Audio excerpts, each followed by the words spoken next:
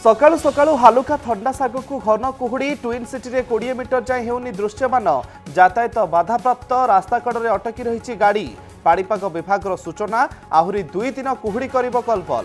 ଚବିଶଟି ଜିଲ୍ଲାକୁ ସତର୍କ କରାଇଲେ ସ୍ୱତନ୍ତ୍ର ରିଲିଫ କମିଶନର।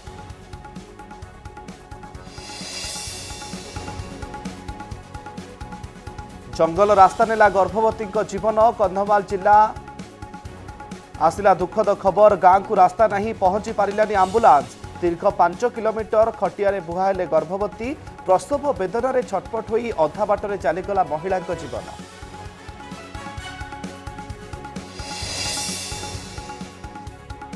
ଚାଷୀ ଆନ୍ଦୋଳନର ସମାଧାନ ପାଇଁ ଆଜି ବସୁଛି ସଂଘ ଓ ସରକାରଙ୍କ ମଧ୍ୟରେ ଗୁରୁତ୍ୱପୂର୍ଣ୍ଣ ବୈଠକ ତିନି ତିନିଥର ବୈଠକ ବିଫଳ ହେବା ପରେ ଚତୁର୍ଥ ବୈଠକ ଉପରେ ସାରା ଦେଶର ନଜର ଏମ୍ଏସ୍ପି ଆଇନ ସମେତ ଏକାଧିକ ଦାବିରେ ଦିଲ୍ଲୀ ସୀମାରେ ଡେରା ପକାଇଛନ୍ତି ହଜାର ହଜାର ଚାଷୀ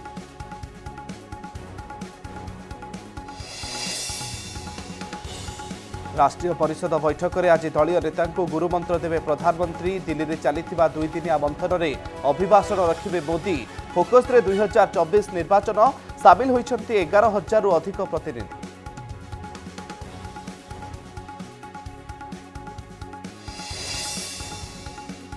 ରାଜ୍ୟର ସ୍ୱାସ୍ଥ୍ୟସେବା କ୍ଷେତ୍ରରେ ଯୋଡ଼ି ହେଲା ନୂଆ ଅଧ୍ୟାୟ ଲୋକାର୍ପିତ ହେଲା ଆମ ହସ୍ପିଟାଲ ପନ୍ଦରଟି ଜିଲ୍ଲାର ତେସ୍ତରୀଟି ଚିକିତ୍ସାଳୟର ହେଲା ରୂପାନ୍ତରଣ ଏପଟେ ପାଞ୍ଚଟି ଉପଖଣ୍ଡ ଡାୟାଲିସିସ୍ ସେଣ୍ଟର ଉଦ୍ଘାଟିତ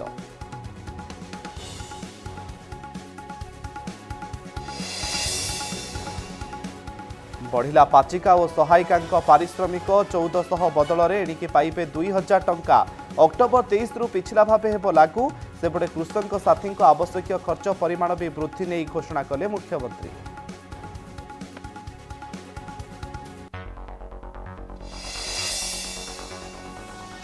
ପ୍ରଥମ ଥର ପାଇଁ ହଜାରେ କୋଟି ଟପିଲା ବିଏମ୍ସି ବଜେଟ୍। ଭୁବନେଶ୍ୱର ସହରର ବିକାଶ ଏବଂ ରୂପାନ୍ତରଣରେ ସହାୟକ ହେବ କହିଲେ ମେୟର।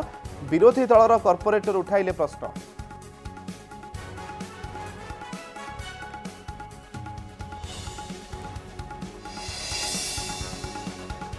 ଏବଂ କଂଗ୍ରେସକୁ ଲାଗିପାରେ ଆଉ ଏକ ବଡ଼ ଝଟକା। ମଧ୍ୟପ୍ରଦେଶର ପୂର୍ବତନ ମୁଖ୍ୟମନ୍ତ୍ରୀ କମଲନାଥ ଓ ତାଙ୍କ ପୁଅ ଛାଡ଼ିପାରନ୍ତି ଦଳ। ଦିଲ୍ଲୀ ଗଲେ ଦୁଇ ନେତା। ସୂଚନା ଅନୁସାରେ ରାଜ୍ୟସଭା ଟିକେଟ୍ ମିଳିନଥିବାରୁ ଅସନ୍ତୁଷ୍ଟ ଅଛନ୍ତି କମଲନାଥ।